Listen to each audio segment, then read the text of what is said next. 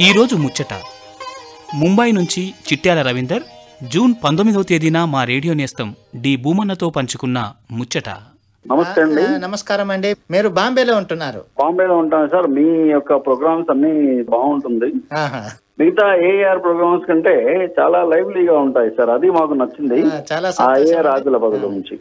అయితే అక్కడ ముంబై ఇప్పుడు ఎలా ఉంది సార్? కరోనా గురించి చాలా ముంబై కరోనా ఇక్కడ. చాలా కేసులు అవుతున్నాయి. కానీ మేము ఇళ్ళలో ఉండి చాలా జాగ్రత్తలు అన్ని పాటించేసి మీరు చెప్తున్న ఈ ఫేస్ మాస్క్ కానీ ఈ ఫిజికల్ డిస్టెన్సింగ్ కానీ తర్వాత బజార్కి వెళ్తే ఈ శానిటైజ్ చేసుకోవడం కానీ పరిశుభ్రంగా అంటే ఉమ్మి బయట వేయడం అదంతా ఏ మాత్రం చేయకూడదు. అది అవన్నీ ఈ కరోనా గురించి జాగ్రత్తలు అన్ని తీసుకొని మేము జాగ్రత్తగా ఉండడం జరుగుతుంది.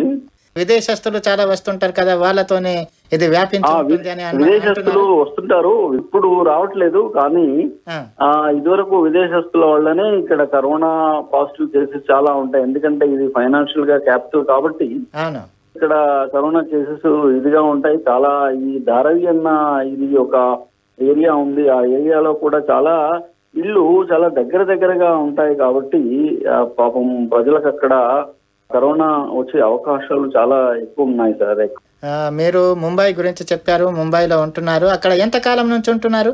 వన్ అండ్ హాఫ్ ఇయర్ అయిపోయింది. ఇక్కడ నేను సెంట్రల్ గవర్నమెంట్ ఎంప్లాయీని మేము ట్రాన్స్ఫర్లో రావడం జరుగుతుంది.